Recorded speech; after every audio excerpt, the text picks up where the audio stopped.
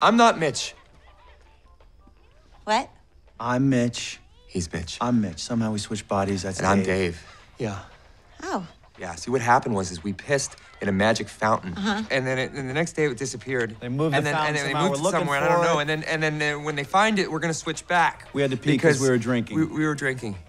That sounds like a plan. Can you start the bath for the twins? Okay, hey pumpkin, pumpkin, listen. This is your. Ooh, Mitch, no. Ugh. No, no. Don't call me pumpkin, okay? And you promised me that you would clean Can you out shut this off?